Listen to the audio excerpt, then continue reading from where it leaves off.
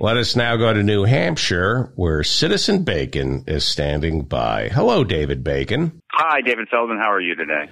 Well, I won. I manipulated you. Well, I haven't left yet, you know, so it's snowing. It's a big storm. I mean, tomorrow, when, when this, when actually away. But, well, you what know, you were breaking up. now. I didn't hear what you said. What?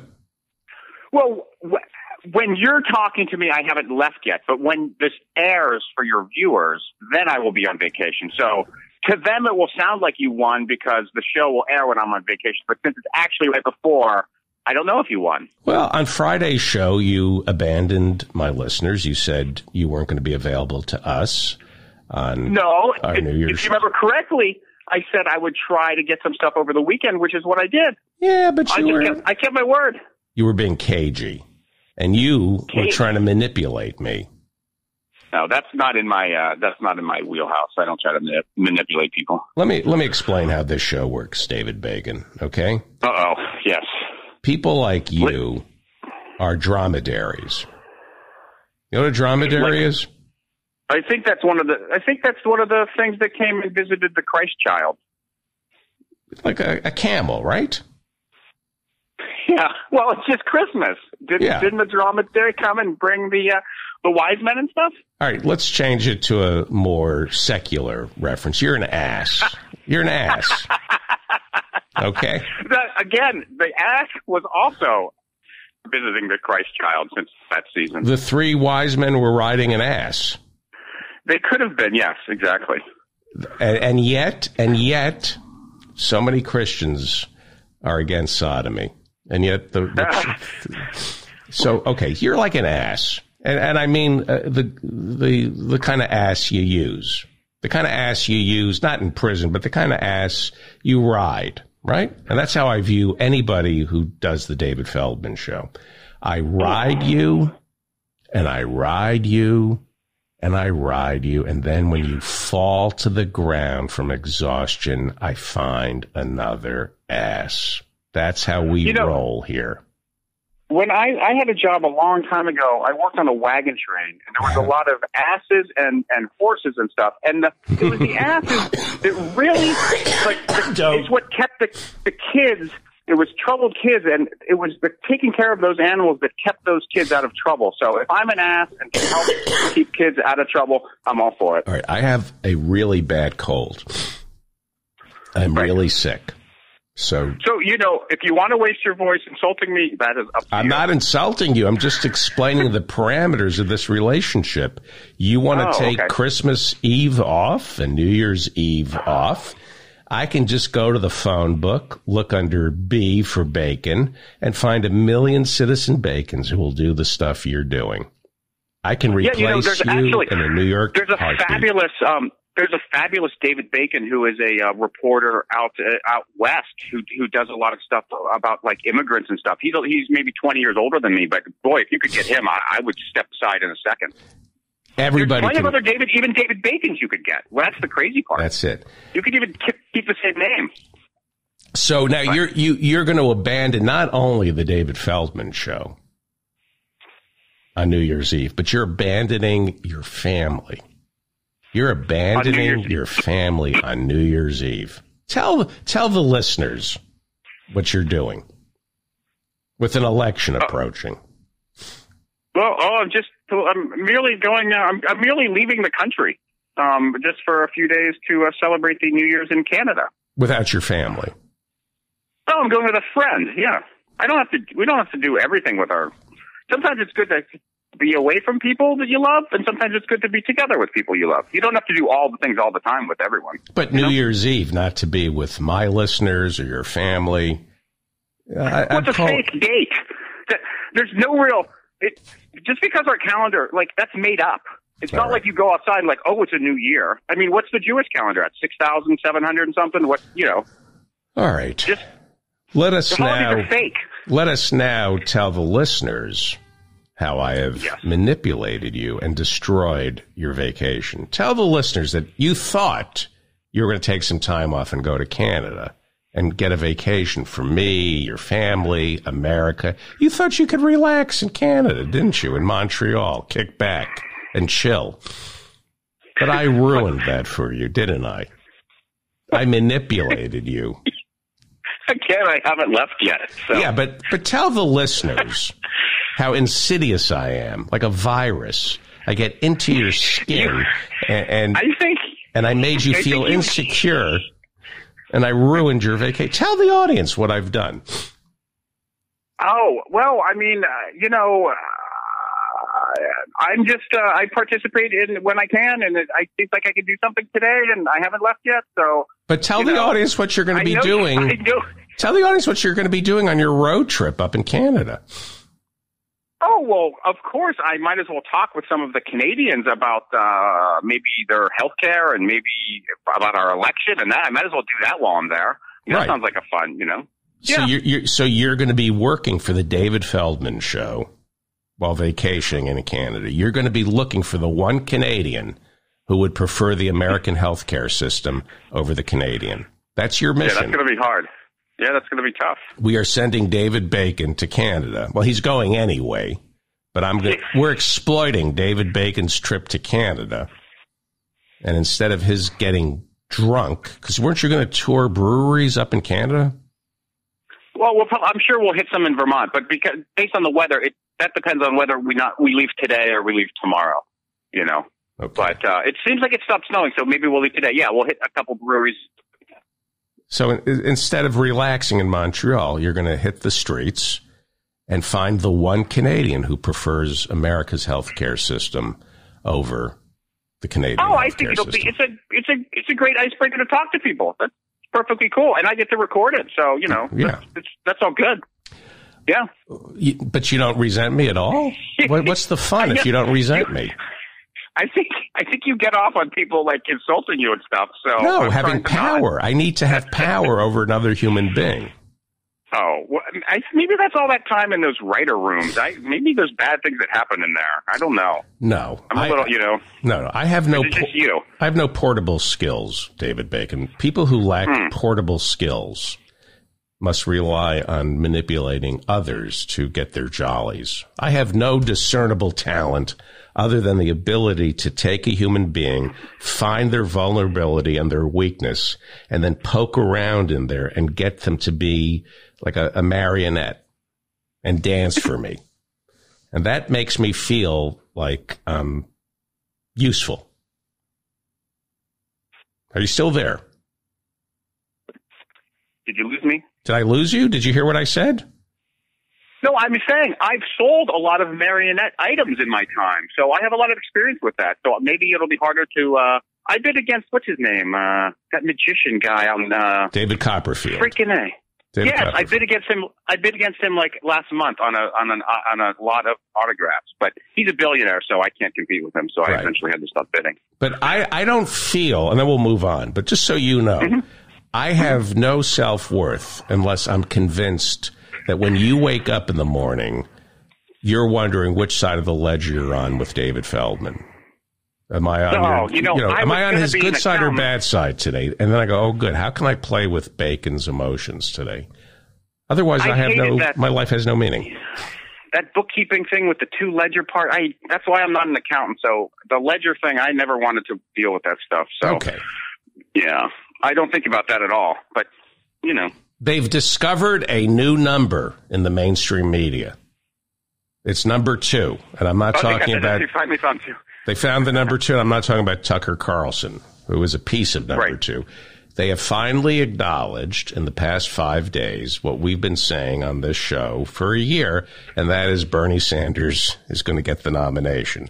He is Right. he is in second place nationally. We've been telling you that for weeks, and suddenly people like David Axelrod and former Obama staffers are saying, "Oh yes, uh, Bernie Sanders is somebody to contend with." Let's go over the numbers, shall we? And then we'll find out what work you've been doing. Shall we? Mhm. Okay. Yeah, I always like to hear them. These are the latest Real Clear Politics polling averages. We're going to first look at the national poll, polls. Pose. Uh, Joe Biden first place, 28.3%. Bernie Sanders, 18.9%. Elizabeth Warren down to 15.3%. Pete Buttigieg down to 8.3%. Bloomberg, I think he's coming up. Bloomberg 4.9%. Amy Klobuchar 3.6%. Yang 3.6%. So Bernie nationally is behind Biden by about nine points. But let's go into the the, the primaries. Let's look on a granular level here. In Iowa, the Real Clear Politics polling average shows Pete Buttigieg with 22%, Bernie Sanders with 20, Biden with 18%, Warren with 16%, Klobuchar, this is her backyard, Iowa, she only has 6.3%. Cory Booker, 2.8%. Supposedly he has a great ground game in Iowa. He's only polling at 2.8%. Tom Steyer, your friend. I think we've heard enough from Tom Steyer on this show, 2.5%. Unless you have more with him. So far, no Tulsi oh, showing up. We haven't actually done too much of Steyer because he's only, he was only here for the filing in that one day. But, you know. Hang on, I gotta blow my nose. I'm gonna you, Bennett, you sing a song. I'm gonna hit the. I have a cough button and a mm-hmm. I, I, can blow my nose button. Hang on for one second. Mm-hmm. Yeah, yeah, yeah, yeah. Bennett's the one who is. Did you hear me blow my nose? I did not. Hey, if I could blow my own nose, I'd never leave the house. I, you can have that. I don't know what that means. What, for, what, would I What would I do with it? I don't know. You can have that. I can have it for what? I'm not a I'm not a comedian.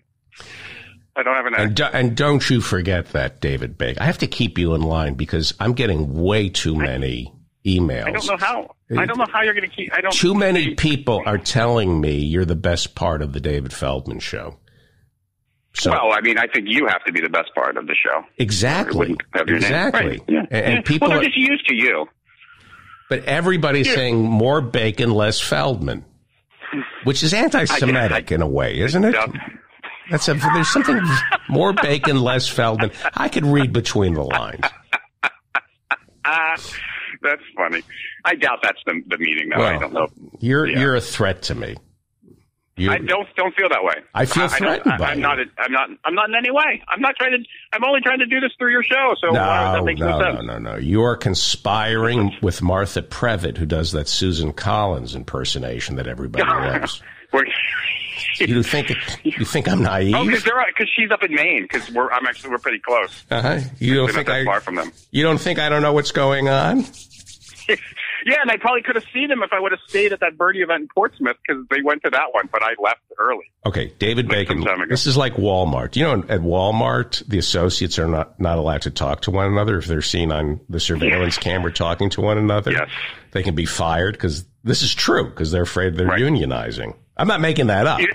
no, I know, I know, I, I, know about that. You know what I used to do is I used to go and put. Um, well, hang on for I one second before you tell wait, me. Let me that. interrupt one let second. me. No, no, you. This is still my show. This is still my show. And you are not to talk to anybody else who works on oh. the David Feldman show. Oh, I think I have another call. Hang on. You don't talk to Martha Previtt or Jim Earl. I know what's going on. I need to see yeah, your emails. I, That's what know. Jon Stewart needed to do. I have, I have no contact information on the show, so I don't know how people people aren't getting contact with me. So you have nothing to worry about. John but Stewart once asked to see one of the writers' emails. Did you know? Go ahead. What? I used to go into Walmarts and because oftentimes the bathrooms in the Walmarts, and you can also do this at Home Depots and stuff, they have the bathroom area with maybe a water fountain, and usually the break room is right in that area. So, I mean, you might be on camera, but you can kind of, if you have a little poster that says like, "Hey, join a union," whatever, you could just go in and like put it on their bulletin board and kind of pop it up there. That's hey, kind of fun to do. Let me hit the cough button. Hang on for one second. Mm-hmm. Why don't we do that? Why don't well, we? have. well, but let's get like posters that you can download on my website, giving information. Right. You print them right. out, and everybody who goes to Walmart should just post. Exactly. Oh my God! What a great idea. Yeah. Yeah. Hey, yeah. Okay, so anybody listening who wants to, well, okay, I have a cold. Yeah. And I, and I'm feeling really threatened by David Bacon right now. So no I, reason to. But for the new year, either David Bacon or somebody who knows David Bacon has to draw some kind of poster that we can make available for a free download over at the David Feldman Show that everybody should print out and post at a Walmart explaining their rights to unionize? Right? Right, and you, yeah, you can do it at all. I mean, you could do it at any place that you know. Um, I mean, I don't, I don't know if McDonald's are probably not unionized. I don't know that offhand, but you know, no. you can you can do that at any of those places. Yeah. Yeah. Oh my yeah, God. Fun. That's fun. Yeah, okay. Fun. Uh, in Iowa, Pete Buttigieg, 22%. He is the absolute worst human being on the planet. He, I'm I'm not a fan of him. I, I would not go that far, but yeah. Um, yeah, he has some some evil. He's definitely got some evil, and he definitely just wants power. The, the difference between Buttigieg and Trump is Trump is a liar, but he's not lying to us. We know he's a liar. Buttigieg yeah, is deceiving us. I, I, would rather have yeah. a liar than somebody who deceives me. Bernie Sanders in second place, 20%. A lot of people now think Bernie can win Iowa. He's certainly That'd winning the, the money, the money race. Nobody Right. has more money than Bernie. Biden in third place, 18%. Elizabeth Warren in 16%. She bungled Medicare for all. That's why she's Right. sinking. Right. She right, thought exactly. she could outsmart the American electorate by saying, "I'm not going to raise middle. Cl- I'm not going to raise taxes on the middle class." She was cagey. She made Right. it a political issue as opposed to a moral one. That was the mistake that Elizabeth Warren made with Medicare for all. It's not a policy decision. It's not a political decision. It is a moral issue. Like we've Right. been attacked. We'll figure out the rest later. Amy Klobuchar, 16, uh, 6.3%. I did this already. I went through Iowa. New Hampshire. Yeah, I don't know. right. Um, Bacon, you're, you're, you're, you're throwing me. I'm throwing you off. Well, New Hampshire, 19% for Bernie. Buttigieg, 17.7% in New Hampshire. Joe Biden, 14.3%. Warren, backyard, New Hampshire. She's from Massachusetts, 13.3%. Tulsi Gabbard, 5.7%. Andrew Yang, 4.7%. Tom Steyer, 2.7%. So I have to say, you know, Steyer, you, in that last go round with him, somebody said you're spending way too much time on television and Right. only focusing on Iowa, New Hampshire, not nationally. But it does pay. I mean, he is registering at least in Iowa and New Hampshire. He's got about, you know, 2.5% in both primaries. Anyway, yeah. Well, he just spent money. You know, Yeah. like Bloomberg. Same thing. I think Bloomberg the other day, or the paper said, like he's already spent a hundred million dollars, maybe something insane. You know, Bloomberg. bad I guy. guess. He's a Republican. He was for the Yeah. invasion of Iraq. He perpetuated the myth that Iraq was behind 9 11. He's a lifelong Republican. And Suddenly he's a Democrat. And he's only, he, I mean, he only got in because Elizabeth and Bernie were doing so well, and he's totally against that. And, and both of those uh, people would take a lot of money from his uh, Yeah. uh, wealth. Uh, wealth. Yeah. So Well, if, and then what we're going to get to your clips. If, Sure. if Bloomberg runs as a Democrat, loses and endorses Bernie, then, then he's welcome All to the fold. Yes. Okay. right, right, all good. Let, let us now go to uh, David Bacon's clip number one. Uh, Tulsi Gabbard. A lot of people pissed off at us. A lot of people pissed off. oh, why? They say we were trivializing Tulsi, that, that we didn't serve in the military, that she is on the side of the soldiers, and she wants to end all unnecessary Right. wars. I that- I think I present all of the candidates in a fair light. I don't think I, but you know, maybe I'm maybe I'm wrong. Maybe people take it another way. I try to be fair and and and let everyone have their say, and you know, but oh, I know. didn't hit the button for blowing my nose. How come you don't have this cold? Um, I don't know, but I was I had one a member earlier, like a few weeks before you. So, but you, and you also traveled. You got it right after you came back from uh, L.A. So you were you you were you know you came back from that warm climate. You came to the cold, and you were on that airplane with that closed and crappy air. So you probably got it on the plane, or God knows what you were doing out in California. So there's a couple options. So you know now you're back on the East Coast, and it's all crappy weather. So probably from something in there. Okay. What is clip number one? Okay, so clip number one is going to be this guy, excuse me, this guy Nick Barbarian. who is a he's covered in tattoos. He's got a bald head with one of those spider web tattoos on the head, and at the early at the event. Now, before- Barbarian. Barbarian, is that an Armenian name? Well, I don't know that it's his original name. He's a, he's apparently the lead singer in, in a band with the same name, Nick Barbarian. And Ah, okay. it- it's very interesting because it's like it's almost like um it's like you'd think it would be like hardcore like kind of music from that name Nick Barbarian, but it's almost more like it's called like hate folk or something. It's very very bizarre. I. Okay. I listened to this song "Maggots in My Soul" on YouTube. Almost good. Uh, very interesting. Anyway, so so he's a super noticeable guy. I've seen him a couple times at that last Tulsi event when Tulsi couldn't make it and was live streaming.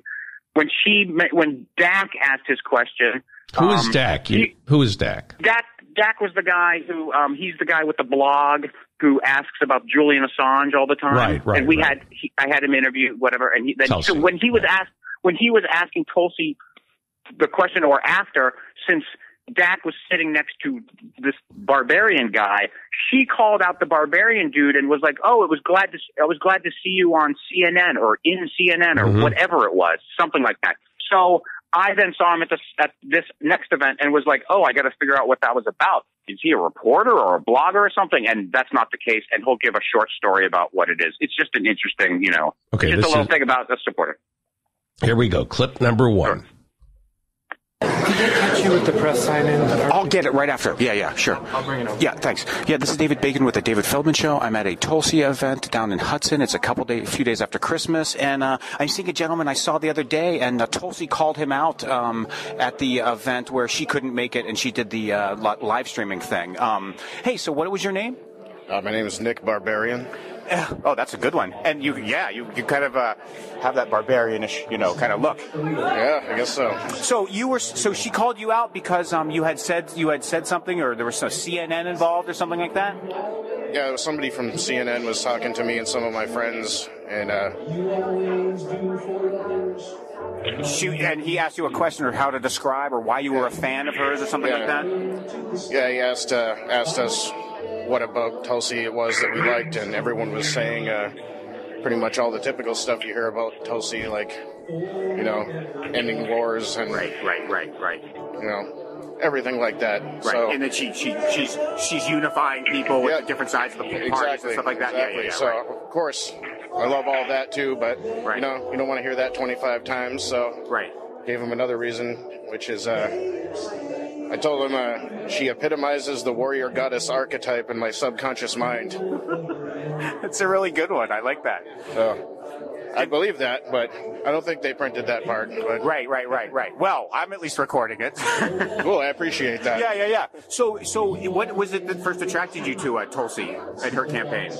Honestly, first I saw her on a billboard, and I just wanted to Oh, know right. who that was. Right, right. So that took me on the internet, and then I went down a rabbit hole of YouTube videos, and I was like, "Wow, this is actually She impressed you. She a wasn't your candidate typical. that I agree with." Yeah, And exactly. I'm not into politics, never have been. I'm almost 40. I've never voted, Oh wow. and uh, this was the first person that really lit a fire for me. So, Nice. and Wow. uh, I think this is probably my eighth or ninth time seeing her. Right, right. after that, Right. So yeah, well, I, I you do stand out, so I have noticed you maybe at three, or I think I've seen you at three or three or four, probably. Yeah, yeah, yeah. Yeah, she's she's a, she's certainly definitely an interesting candidate, and I love. I, it's nice to see she's got a good crowd tonight. You know, I Oh, think yeah. she, she might have a little bump and stuff. She might be she might be growing a little bit.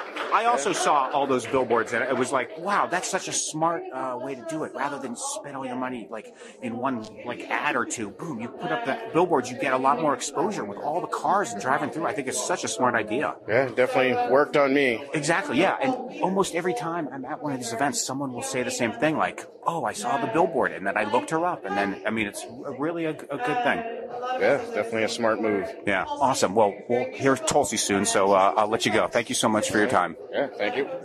Oh, that's interesting. Yeah, I thought it was really fascinating once he said like he's never voted before. Yeah. you know, what's interesting about that? When he said he's never voted before, people who are in the Beltway dismiss somebody like Barbarian. Well, he's never voted before. He's an Right. idiot. He's, you know, that's who Tulsi's bringing into the fold. Well, that's exactly who you need to be bringing into the fold. The, the 100 Right, million people who don't vote. exactly, uh, exactly. Kind of Yeah. interesting. Again, because of the way I've been shaped by my friends, I'm Tulsi resistant. I've Yeah. kind of, I don't know, inoculated against her seductress charms, but, but, and that's sexist to say that. But I also think, Sure, sure, sure. you know, there is some, you know, ta the way he talks about the billboard, there's something a little suspicious Well, about that. Well, without a doubt, when I am at these events and I do end up talking to people, it's often like even if it's a couple, it'll be the male who saw the you know saw the billboard and then looked her up because like you know she is attractive and you do see her picture like huge on the billboards and it's always these dudes who are like yeah I saw her picture oh who's that you know Right. there's clearly a little bit of that going on Although some Um, people are saying that when she trends on Google, it's Russian bots who are making her trend, not horny You know, they, teenagers. they they made a one of the people at that at this event, the, the one that we're playing the tape from.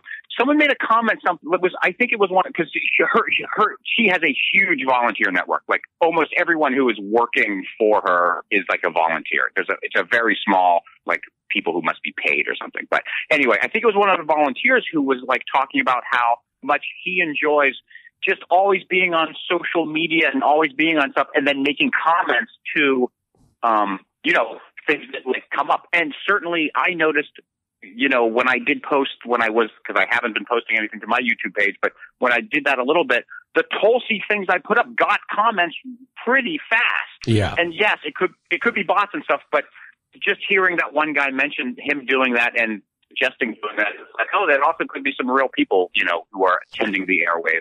yeah. but- Yeah. Okay. Let's go to clip number two. What do you have for us? Are you alive? Recognized from, Are you alive? Did you die? what do you mean? You didn't say anything. I said hello? clip number two. What do you have for us? Yeah. You're breaking up. all good. You're breaking up. Okay. Um, well, we have bad weather here. It's snowing. You know, it's there's no. I can't see the sun. I don't know. Can you hear me? Yeah, but it's always somebody else's fault, not yours, David Bacon. It's patho- it's p- Oh, pathological. How you're incapable of just saying it's my fault. It's the Oh, weather. well, every time- Go ahead. Well, when it's my other phone and it's you know you you complain about the breathing, I always uh, say yeah. I, There's always an excuse. Always an excuse with David Bacon. Go ahead. Okay, clip yeah. number two. I have to. I'm very threatened by you. If I don't, Well, don't you need to let go of that? no, I I need no to threat. keep. No, no, no. I need to keep you off kilter.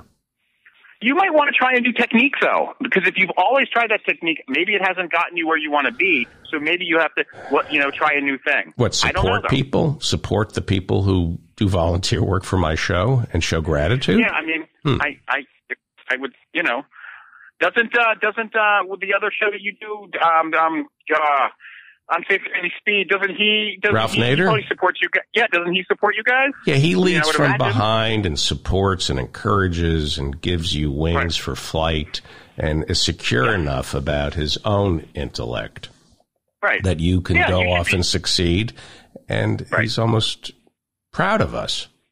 I would recommend following his way of doing things. But that's, I don't want to, so you're saying steal his method. I, no, no. I, I lead from behind, but with a bullwhip. Well, and then I'm not even going to make the Mapplethorpe joke there. Yes. Um, Sure. Okay. Okay. Clip number So- so- two. we let's keep so it moving, Bacon. This is this is the problem with you. God. Always a problem. Yeah, I know it's terrible. That's why you keep calling. Anyway, so Uh, this guy, what? this is this is a What did you say? be someone- you, did you wait a second? huh? Did you, did What? were you disrespectful to me? I can't imagine that's Okay, the case. good. We'll have to replay the tape. Okay. Um, so this is going to be another person I, I recognized from an earlier Tulsi event. So this is going to be the person who was the MC at the event that she didn't show up at. And his name is Eric Jackman. I did not realize this till I got home and Googled him. So I don't have any of this, but I will see him again at a Tulsi event. He apparently is a Donald Trump impersonator. Oh, I had no, I had no, I had no idea. So he doesn't do any of that. So that's going to be too bad. so, Pete and this- Buttigieg was unavailable, so we got a different Donald Trump impersonator. nice. Okay. So So this is going to be his his uh, interview is going to be divided into two parts because you like to do that to me. So I figured I might as well do that to my guest. Okay. But no, th- they started the um the um the uh, Pledge Allegiance came on, so we I stopped interviewing him, and then the event started, and so I just came back to him later. So this is only going to be part one um, of me interviewing uh, Eric. So you stopped taping when the Pledge of Allegiance came on. I did, and I thought I I kind of wish I had the Pledge of Allegiance in there now, but I I did. I stopped the taping Because why? because actually because Eric said, "Oh, the Pledge of Allegiance is on. We should not do this. We shouldn't do this interview right now." So Out of respect or disrespect for the country? I believe Eric was doing that out of respect. Oh, okay. Now, again, because this segment is going really well and I'm being threatened by you, I have to dress you down in public. Okay. Okay.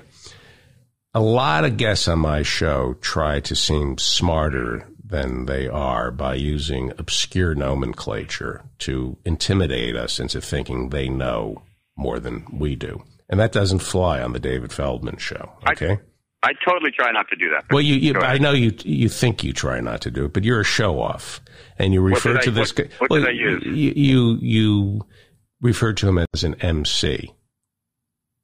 Oh, M- an MC, Yes. Now, my listeners. master of ceremonies. Thank you. Let's Did I- speak. Okay. Hang on. Uh, I told you not to make me laugh, Bacon. No, I don't think that was a laugh. Okay, no, it's.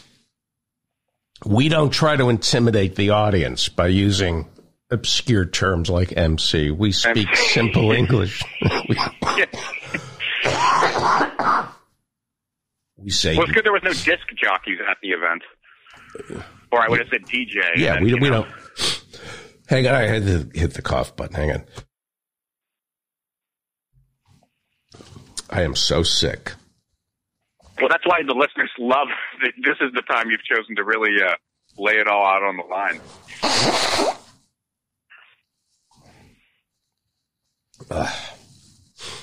All right. So this is what what clip is this? So this is clip two. This is. Oh, the I'm first- sorry. What? part- I'm sorry. Clipping. I, Huh? I, I- it's a clipping, not a clip. We speak in plain Oh. English. All right. Oh, wow. Okay. hmm Clipping number three. No, we're only on two though. Oh, this is two. Try to try to get me. You should at least. Is this still? We're right. only on clipping number two. Yeah, I don't like clipping. I think clip is better. But No, no, we we don't use shorthand. okay. All right. number two. Number number two. Yeah, this is David Bacon with the David Feldman Show. I'm again at the Tulsi event in Hudson, I think it was, a couple days after Christmas. And I saw a gentleman who introduced her at the uh, last event I was at. So I came over to uh, see what he's doing. Uh, what was your name again? Um, Eric Jackman, Yeah, and what did you call yourself? uh, Tulsi's New Hampshire cultural attaché. Yeah, that's a good one. How did you um, How did you get involved with her campaign? Um, so I went to one of her uh, an event before she was running last December, a year ago. Oh. and she was thinking about it, and um, I was really impressed with what she said. And I had some one-on-one time with her, and I said, Tulsi, if you run for president, I'll do everything I can to help you. Wow, yeah, that's a lot of the people who seem to be the big, strong volunteers, at least in New Hampshire, that I've seen, say kind of the same thing. Like they just were like, "I'm all in. I will help however I can." Right, right, absolutely. I mean, it's a very passionate, um, people-driven campaign. Obviously, you know, we're, we're not uh, the multi-millions that some of these campaigns Right, have, but it's truly a group of passionate people who are fed up with the way things are. Me being one of them, Right. and seeing Tulsi as a transformational figure and um, someone who can really unite our country. Right, and I don't. If I, if you don't have to answer this, obviously, but are you a Democrat or a Republican? Oh, oh, sorry. Yeah, we have to pause. Was she about to putt? Your voice sounded. No, like- they it looked like you were on the ninth hole. look like. Or Um, sounded. Oh, oh, oh, ow! I'm really Well- sick. I need to take. I need to take a pill or something. well, maybe you saved some of those. Um, uh, oh, I can't remember what we joked about when you had the cat. Uh, but anyway, I don't feel yeah. well. So, yeah, I'm sorry. That, but I'm going to lose. The, I'm going to lose this show. I feel it. They're going to fire me, and give this to David Bacon. I know this. I'm. Go ahead. What? I'm going to lose my own I don't even know. podcast to David Bacon. I don't even know. I don't even know what I was saying. People like you so much better than me. No, They do. gotta- gotta they do. I get your- so many emails telling me how great you are, and I don't feel well. And Well, I- see, the the well, I mean, maybe that's maybe you know, you keep thinking that I'm trying to do something. Maybe maybe I am, and I don't even realize it Yeah. by not having people contact me. Then they send all the emails to you because you wouldn't normally get that from your other guests because everyone gives out all their stuff, and then they get to see how people react. So well, you know, but it's all about Steve. Have I- you ever seen the Bette Davis movie, All About Eve? This is all about Steve. If your name were Steve, I don't believe I've seen all about Eve with the Bette Davis. okay. Yeah. Well, Um, it would have been a great. so- re- Can you? Let me just ask you a question as a favor. Could you go down to City Hall and change your first name to Steve Bacon? So this all about Steve reference would really fly. Do you have time to do that? It seems like a lot of work for that one, and that wasn't that great. So, Okay. and when are we going to use it again? I mean, I don't know. has passed. I'm- We would have had to do it ahead of time. Sometimes I like to retrofit a joke. Okay. Oh, sure. I Okay. guess. Clip I number mean, oh, three. That's old. It's almost like a uh, a reference I would hear from um oh uh, Gottfried Gilbert Gottfried, Okay. the old movie reference. Okay. I don't feel well, I'm sorry. and and I You think keep- you- uh, I'm sick. You're trying to make me not feel well in a different way. I Okay. guess All right. maybe you're trying to bring me to that level. Clip number three. What is clip number Okay. three? So clip number three is going to be Tulsi answering questions. Tulsi did not do a gaggle, so the only thing I have is her speech, and then I had the questions that the audience. And she did take a lot of questions, and she did have a good crowd. So Okay. this is a gentleman who is going to ask Tulsi specifically about her vote about the um, um, impeachment. And I thought that would be use that one because that's what we had a bunch of stuff about that last time. And I want you to, if you listen really closely to her first answer, he's going to ask super specific, and she's going to answer. Listen to the way she answers, the what word she uses and how she uses it, and then she's going to talk for a long while. Then he's going to try to be like, okay, let me understand it. Okay, and remind really our listeners how she voted. Well, she voted present on both um, Articles. articles of impeachment. Yes, she didn't vote yes. She didn't vote no. She just voted present. Right. And she says she's making a statement, and she will also answer. I mean, in a second, what she did. She's uh, making a. better She did that because she wanted to make a statement and not make a statement. Yeah, right. That's okay. So- Here we go. Clip number three. Clipping. Three. Clipping Yeah, number three. and that's I don't like that at all. Well, okay, because you like to make. You're like a Harvard technocrat. You I'm like to nothing like you, you, you throw smoke and mirrors and dust in everybody's eyes, so we think you're smarter than you actually are by using terms like clip and MC. That's exactly what I'm trying to do. You know, I hated. I totally it. hated in, uh, in in in you know I I did major in philosophy and God it was the worst thing because you would read philosophers and they're just you're just like you're using such hard words to make this so impenetrable for people. Yes. You know what? Yes. Freaking stop it! It, Yes. it was insane. Yes. I hated that. Yes. I hated it. Yes. Right. Yes. Yeah. Clip So number. I know what you're talking about. I hate it. clip number Also. three. Clip number three.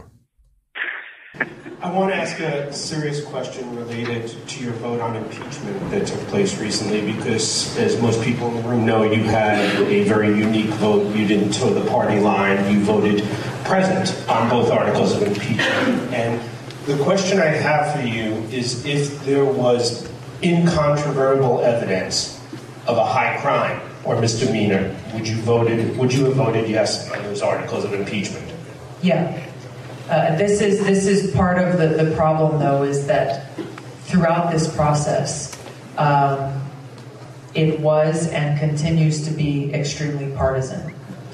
And this is something that the founders warned against in the federalist papers that that the process they feared that the process would result in a conclusion that was based on the strength of one party over another rather than an objective assessment of innocence or guilt and that such an outcome would only further divide uh, our country.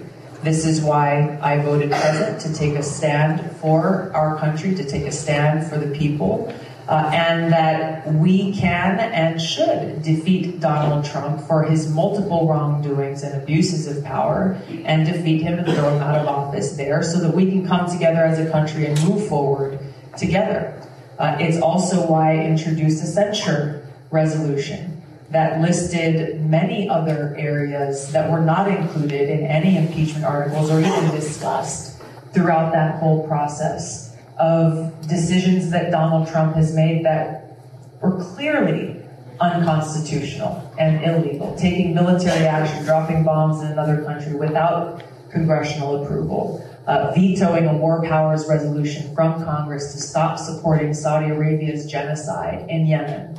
Uh, there are, are many other areas that I think should have been discussed, but weren't. And given the reality of the situation, I do not want to see Donald Trump further emboldened and uh, strengthened as he as he will be. As the Senate will exonerate Trump, they will proclaim his innocence, and, and he'll then take that message across the country. And unfortunately, we're likely to see his support grow as a result of that. Just a quick follow up. So, by the absence of your yes vote, does that mean you believe there was not incon- any incontrovertible evidence? I'm saying that the process was flawed.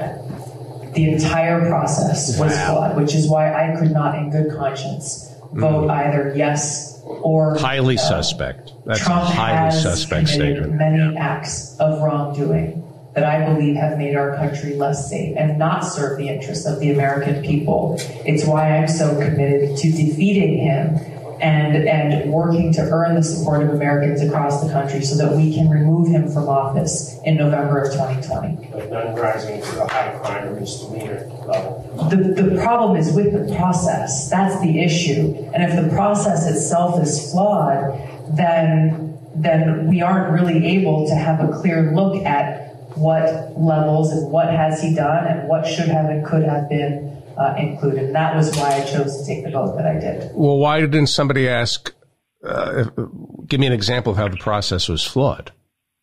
Right. Yeah, yeah. The process was not flawed. I mean, I have a lot of quarrels with Nancy Pelosi, but there, it was very specific. Yeah, yeah, yeah, yeah. Two articles. Right. That that's I don't know, folks. I know I have a lot of listeners who want Tulsi Gabbard to either run for, you know, president on a third party or get the nomination or be Bernie's vice president. Right. Uh, look, I'll move on because we're almost out of time and we have three more clips. Uh, Hillary lost because she was a horrible candidate. She didn't campaign in Wisconsin, Pennsylvania, Michigan, right? uh, all that stuff. You know, Mm-hmm. Bernie should have gotten the nomination. He would have beaten Trump. Blah blah yep. blah. But Trump is a disgrace. It, the the call to Zelensky is impeachable, and he should be right. removed from office. He held up close to four hundred million dollars in aid, military aid, to Ukraine to destroy his putative opponent, Joe Biden. It's you got to get rid of the guy. And there was nothing that the, the impeachment hearings were unimpeachable. They were perfect. They did a perfect job. She's, there's something, something ain't right with Tulsi. That answer is not correct. Well, she's just playing, she's just playing both sides. She just, yes. you know, she wants okay. to get. Yeah. Great job, man. Everyone. Great, great Good. job. Really great. Good. Really great. All right. What's clip number four? so clip number four is going to be the rest of. It's, I'm going to go back and talk with that Eric Jackman again.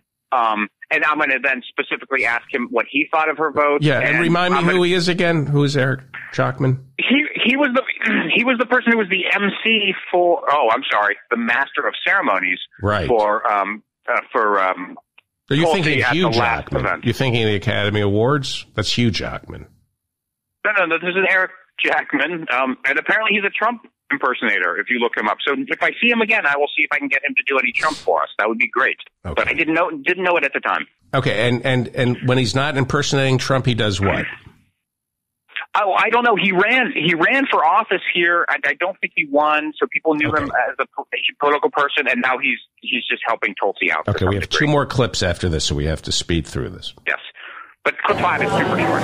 All right, so we're just going to start up again. So, okay, I think you were talking about why you like Tulsi so much, and I, I know at least today you said you followed her around or you were with her today. Yeah, I did. So we call it B2B, business to business, and we just go and send someone out ahead to ask, can presidential candidate come through here and say hi, Right. check out your business, grab a cup of tea or a cup of coffee, Right. and uh, chat with people Talk who with are here. folks. Yeah, Right, right, right. And majority of businesses are like, absolutely, Yeah, of course. that would be fine. And um, you know, the campaign comes in and we get a video or picture of their business and tag it, and it's you know it's good for Sure, local business and. Um, yeah, it, it's really taking her message right to the straight to the voters. Right. And is that kind of her plan, I guess, maybe in New Hampshire? Because she seems to do usually like one event, maybe a day at, in the evening, and then so she's spending her days going around and doing that kind Yeah, of thing. so I, I uh, brought her through Peterborough, where I live, a couple weeks ago, and we did business to business. We went to about a dozen local businesses and just chatted with the small business owners. What's on their mind? What issues are they facing? And then we say, hey, she's speaking at a town hall tonight or a house party in the area. Right, right, Give them the right. info. We'd love you to come out. Like the gentleman, at least that she called out, who came from the coffee house, probably right down the street. Yeah, exactly. Yeah, Yep, it's a good it's way. Real grassroots. That's It's- the New Hampshire way if you do it. It's putting yourself in front of the voters, saying, "Ask me a question. Right, What's right. on your mind? What are you concerned about?" Right. Yeah, she took a lot of questions tonight, which Yeah. Mm-hmm. is, it's always good to see the candidates take real live questions from people that they have no idea what they're going to say. Right. I, I have so much res- more respect for the It's- candidates who do that. it's not a scripted thing. Right, exactly, exactly, Yeah. and she and she did she did good with that. What, Yeah. what is what what did you think of her vote on the on the uh, uh, impeachment thing? The two present. Uh, Yeah, so I mean, obviously, because I'm a pretty visible, uh, big time supporter Right. of hers in the state, a lot of people were like, "What the hell, Jackman?" Yeah, they came at me. They're like, "Did you know she was going to do that? Why do you know? How do you feel about it?" I said, "Give me a day. Right, right, right. Give me a day to hear what Tulsi says about it. Sure. I want to see how all the other members voted on it and hear why, how they voted and why they voted that way. right. And uh, after sitting on it for 24 hours and thinking and processing um, her vote, I, I'm with her on it. I, I, I can understand why she voted the way she did because um, it, it, to me it turned into a toxic political charade. Uh-huh. And it, it's a, it's a device. Impeachment's a very divisive thing, and it's a very serious thing. Sure. And and when making that decision, whether you're a member of Congress or American voter, um, you need to have all information available to you, and you need to be making your decision not based on pressure from a party or from the media or the political winds, but Yeah, from your own intelligence Stand on. gathering, your own research, and how you feel about it. And Tulsi's in a unique position. She's running for president. She's, uh, you know, obviously um, gone against the grain of her own party, Right. which your mainstream, mainline Democrats will criticize her no matter what. Sure, sure. Well, they criticize her for going on Fox, but where else Oh. are you going to talk to those people? That's exactly her point. How are you going to reach the other side of the aisle or people you might agree with 50 40% of the things, but 60% we don't agree on? You got to go to them. Right, Go right. talk to them like a human being. Right. And that's what appeals to me so much about her um, is she, she treats others with respect and doesn't talk down to people. Yeah. And we need more of that. So I'm with her on her present vote. I Right. think it took some guts, and she knew she was going to get fire from all sides. Sure, sure, sure. She knew it wasn't going to be a popular thing. It wasn't going to be the safe and easy thing Right. and and she did it, and she's explained her reasoning why she did it, and um, and I, I, I trust her her foresight and, and her wisdom. I know that she's looking ahead. Mm-hmm. She's Tulsi's considering many things when she does something like that. Sure, so she's, sure, she's sure. thought deeply about it and done her homework and didn't arrive at that decision lightly. Right. I thought that the, that high school kid, I think his name was Mason, at that uh, um, event in Manchester where you were the MC, Mm-hmm. he asked her about the vote, and it might have even been the first person to ask her about it because she was doing that live stream. And I thought it was interesting how he parsed between the two and was like, "Ooh, yeah, I understand how you might not agree with the first one and could vote the president there, but thought, ooh, maybe you should have really voted uh, in, to impeach on that Right. second one because, yeah, he clearly obstructed it." But I guess her rationale is, "Hey, it's." It's still it's a flawed system, and I mean that's what she talked Flawed about today. system, a highly politically charged environment, and what's not to say Democrats get back the White House, the Republicans get control of the House next time and do this It's the same. in three in four years. Right, right, right, right. It's the same. and it just starts a cycle of we don't like the president, we don't accept the results, we're going to impeach him. Right, just like when when the when the con- or uh, Congress or House did that nuclear option, like okay, we'll get rid of the thing, so it just has to be the fifty votes, not the six, you Right, know, like right. that thing, and then it just escalates Yeah, to and and nothing people- gets done now. Right, nothing gets Yeah. done, and also I'm arguing this point. I mean, we get Tulsi on the ticket, whether she's you know pre- the presidential nominee uh, or the vice presidential nominee, she can go to those communities where there are people who are thinking about abandoning Trump, but they need a little more convincing. Right. They need to sh- need to see someone who boned up and showed some leadership. And Tulsi can go there and say, look. I disagree with this president. I don't believe he's fit to be president, but we need to beat him at the ballot box. Right. In, in our 2020 is going to come down to those same pockets of voters in Florida, and Michigan, and Ohio, and Pennsylvania. And in my mind, Tulsi Gabbard is going to be one of the only people who can go to those places with uh, an air of credibility and speak Right. to them. I saw. I don't. I, I. I. I don't know who makes this up, but or, online there was like there's some website when I was researching or something that had like a Bernie Tulsi like thing, like a like a logo all made, and then. When I looked in the thing, there was it was just Tulsi videos, and I was like, "What? Someone's already ahead of the game." Like, no, Yeah. th- with the said- at least putting the thing out there. Yeah, yeah. It's for a lot of people, it's a dream ticket. Um, obviously, both are very uh, close in ideology and Right, they stand right. on issues, and I think complement each other. Right, and Tulsi would well. get some of that uh, Republican vote, I think, just Yeah, because she's been out there, and and Absolutely. her audience usually has Republicans, Yeah. Mm-hmm. Democrats, and Libertarians, like we saw, I think tonight. Yeah, absolutely. I mean, you know, uh, we look back to 2012. Ron Paul got 25 percent of the vote here behind Mitt Romney. He came in second place. Right. And and we're we're working for those votes. Right, exactly. We're working for those people who will come out in a Democratic primary, whether they stay independent or they choose to register Democrat. And, and put aside maybe some differences they have with Tulsi, but big picture stuff, whether it's foreign policy, legalizing marijuana, auditing the Federal Reserve, civil liberties, and they'll say, yeah, I, I'm a libertarian minded person, but I really respect and admire Tulsi Gabbard, and I'm going to vote for On her. some of the same issues there. Yeah. Awesome. Hey, well, I want to. I don't want to take too much of your time, so thank you very Yeah, much. cool, man. Great to talk to you. Yes, great to talk to you Yeah. too. All right, great, great. Let's get to clip number five. Great job. I, I just don't understand. I'm listening. I'm listening. I don't understand it, but I'm listening. What's clip number five? Great. Clip number five is just a joke. I figure in in, in my uh, ever uh, increasing uh, appetite to change my little uh, clips with you into your podcast itself. You know, I broke up Eric's uh, thing into two. Now I'm going to have a joke. So here's just a little quick joke. Okay. This is David Bacon from the David Feldman Show again at the uh, Tulsi event in uh, uh, uh, Hudson. And uh, so, what were you just saying, sir? How come Tulsi Gabbard signs stand on lawns all over New Hampshire? Uh, I'm not sure. Why is that, sir? Because of grassroots based support. Get it? Very good. Maybe I should take a sign.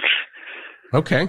So just a joke, you know. That- no, no, I needed that. That makes me feel better about myself. You've been wearing my self esteem down. What's clip number six? Is this the last?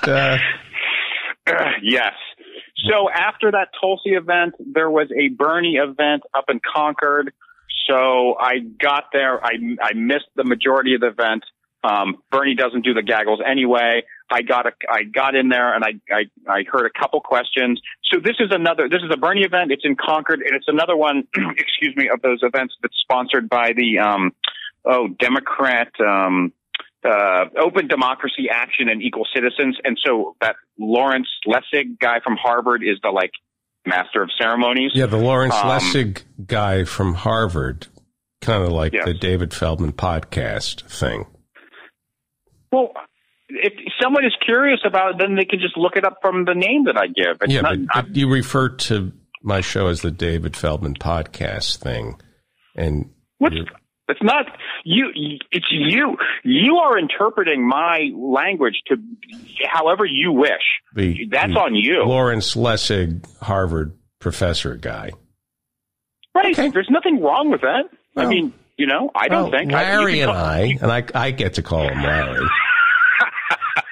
we worked very Yeah, hard to you're get so- where where You're so fond of Harvard professors and Harvard freaking people, so I'm sure you and Larry go back for years. All right. You were, you know, yeah. All right. You and you, you, him, and Aaron Swartz were all doing stuff together, right? Working on uh, anyway, net, net neutrality. Anyway, Okay. Is Aaron Swartz the is- kid who died? Yeah, see, yeah, because they were, uh, yeah, he's the guy who killed himself about letting, because he was he was at MIT letting out all those um um um um all the documents Right. uh, on the Information should be the- free. Yeah, he. Yeah. Right, Is it- because it's all the stuff. It's like research. It's all the research papers that are behind um, paywalls. Even though that research is often funded by the U.S. government and our schools, it's still behind a paywall, so it's super expensive to do. So he was downloading it all onto something, and then he was going to put that up on online for free. And they Um, sued him then- into suicide, as I remember. He was uh, they there was a whole bunch of indictments against him, and then they added like nine more or something. So he was facing up to fifty years in jail and like a million dollar fine. And then I think they were trying to do some plea deal, and he just he killed himself. I believe in prison, or maybe he would. Yeah, No, I don't it's think he went to prison, but okay. Let's go. Uh, Yeah. Thank you for bringing that up. Uh, Well, you brought up how you and Lessig are friends. I was thinking maybe that was the way that you uh, knew him from his. Uh, no, I, I'm not days. friends with Larry, but we're both Oh. highly respected members of the left and a little respect from upstarts like you would, would be nice. Yeah, respect has to be earned by the Oh, individuals. Not okay. uh, it's not. You don't just get a. It's like it's like this. It's like you know everyone's so. You know, it's like everyone wants to, their freaking titles. Like, oh, I better call her Senator Amy Mm-hmm. Klobuchar. Heaven forbid I just say Amy because I think titles are ridiculous and everyone is equal, although different. No one's better than anyone else. We all have our own different skills. You know, no one's better than any. You know, so. But anyway.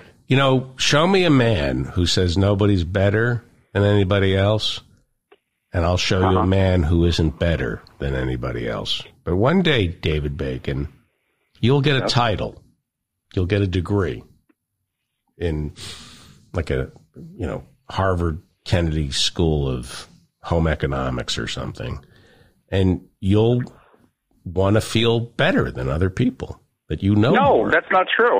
Why would I want that? because That's- I don't want that. because that's what the degree confers upon you. yeah, but you don't have to. I I went to law school, so I you know, but I don't. That doesn't like I don't. You know, no, that's it's ridiculous. I don't want. pe- You know. All right. So so this is going to be Bernie. And this is So this is interesting. Hang on for one second. okay. You trade in ephemera, right? Yes. And yet you say a degree is just a piece of paper. And yet you've built your entire career making money off pieces of paper. That's what ephemera is, isn't it? So to dismiss Ephemera- it, right? Ephemeris paper. Yes. Right. So for mm-hmm. you of all people to say, "Oh, a, a degree is just a piece of paper," Right. what kind of ephemera dealer are you to say a piece of paper means nothing? Oh. Well, you know, I tell when people uh, used to ask me what I do, I would just say like I sell crap. I sell old crap. I, it's I don't put it. Things aren't insults unless you take them that way. Okay, You know. all right. But I wonder if people in the fecal transplant business say that. I literally sell crap. right. Exactly. Yeah, I, I- I understand. Yeah. Okay. Clip number six. So this is going to be Bernie, and he's going to be he's going to get a question. It's actually from someone else, but uh, Lessig asks the question, and it's going to be about um, court packing and Bernie's answer to uh, why he doesn't think court packing or you know adding people to the Supreme Court is a good idea. And then he gives an idea that I hadn't heard before. I don't know if it's out of his thing about what he thinks is maybe a viable way to uh, to do something about the Supreme Court. Now, they call it court packing when you put more than nine judges on the bench, right? I don't know if it's if you put more than nine, but I think it's if you increase the number because Right. nine is not set anywhere. Now, what would But- you call a fecal transplant? Um, something with packing in there, I would imagine. Yes, but I can't. Yeah, I can't. you can't come up I with the can't- I can't get the joke Yeah, I can't because you're sick. I mean, you're you're Yeah. you're under the weather, so you're not as quick as you normally would. Yeah, and I'm not a comedy writer, so there's no way I'll be able to get it. Okay, clip number six. Lawrence Lessig, Larry as I call him, with Yes. Bernard Sanders. Yes. So she, so her question is this: You have said you disagree with expanding the Supreme Court. Can you explain your plan to rebalance the court? I mean, if we expanded it, maybe Zephyr could be your first appointee. Not a bad idea.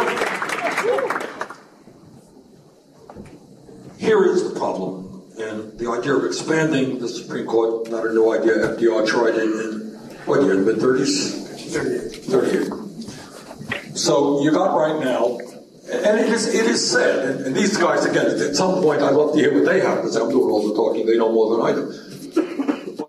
It worked when he tried to expand the Supreme Court. That's one of the great myths. That while the, Oh, really? yeah, well, they they couldn't get uh, the House of Representatives and the Senate to agree to expand the court, but the court was so threatened by it being expanded, they started Ah. they started to greenlight all his New Deal legislation.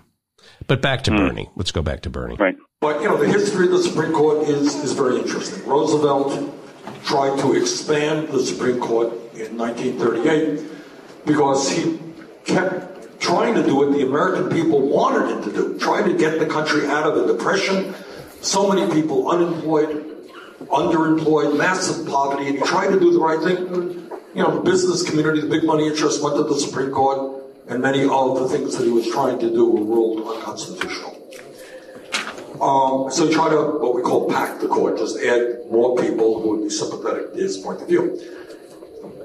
Theoretically, what the Supreme Court is supposed to be about, and what Justice, Chief Justice Roberts would tell you if you were here, is he said, again, you guys correct me if I'm wrong here, but what he says is, we are not Democrats, we are not Republicans, we just look at the Constitution and do our best to render decisions. Is that his party line? Balls and strikes. He calls balls and strikes. Right, that's right. And they're all impartial and so forth and so on. Uh-huh.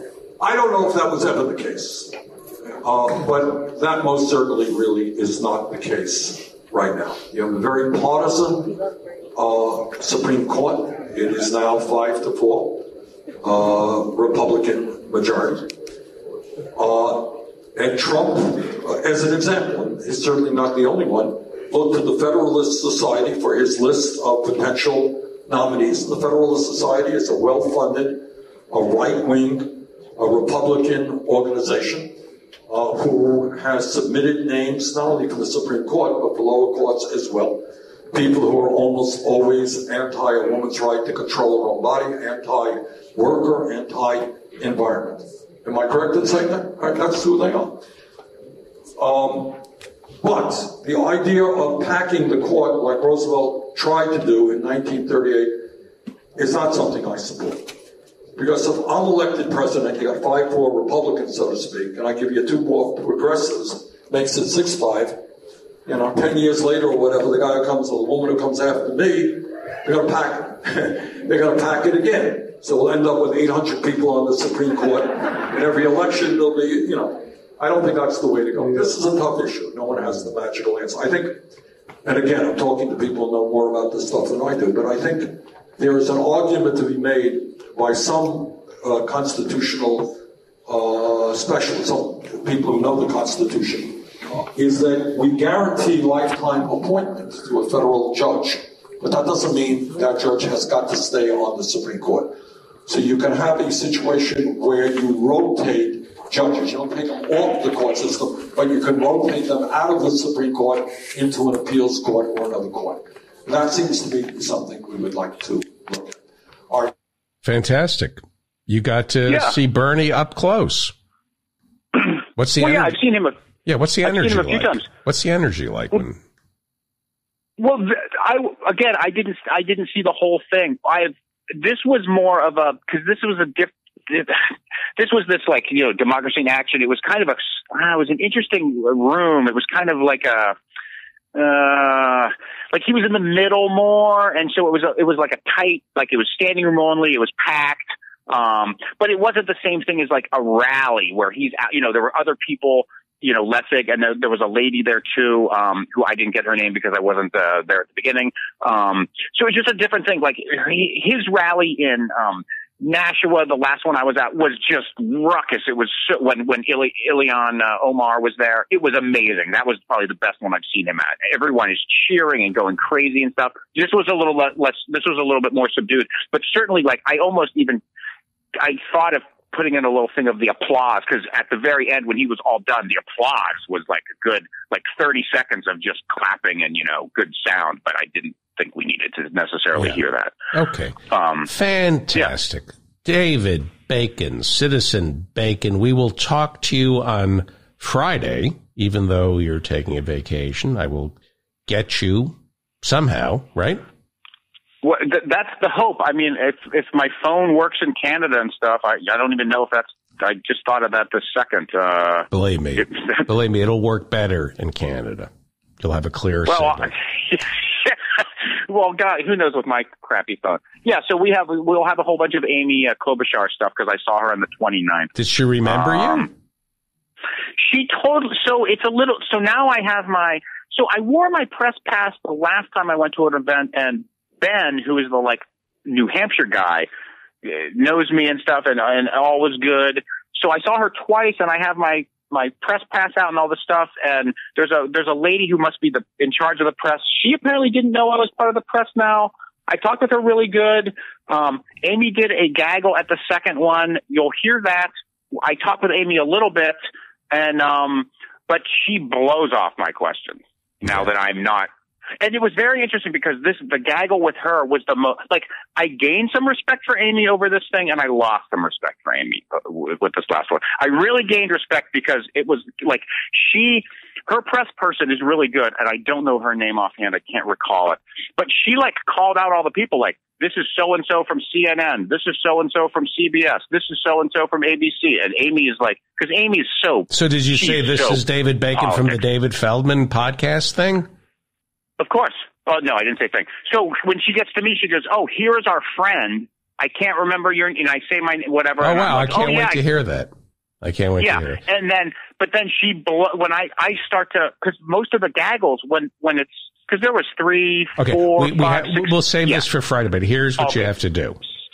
When you, Oh, okay. you, you know, eventually you're going to start getting up close and personal with Biden, Bernie, Trump. I see this happening. Okay. What you have Perhaps. to do is you have to say, I'm David Bacon with the David Feldman podcast thing. Seriously. So now you you you criticize me for that comment, and now No, you funny. like want me to use it. I now think you it's want just me to use funny. it. I'm David. I'm David Bacon with the David Feldman podcast thing. By the way, we're giving out our end of the year bonuses here at the David Feldman Show. You have now been appointed assistant news director of the, Ah. the David Feldman Show. And if you work really hard, you We'll get a different title that I don't care about. senior assistant news director. Got to go. Great work. Talk to you on Friday. Okay. Sounds good. Thank you. Buddy. Happy. New Year. You too. Yep. Bye bye. Bye bye.